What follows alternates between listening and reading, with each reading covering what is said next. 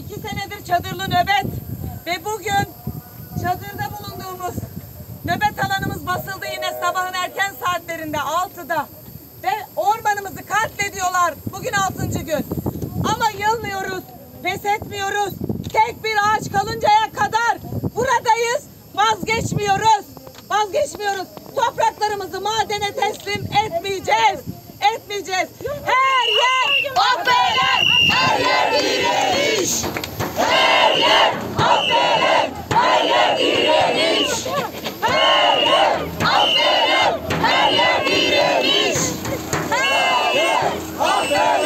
Hurry up,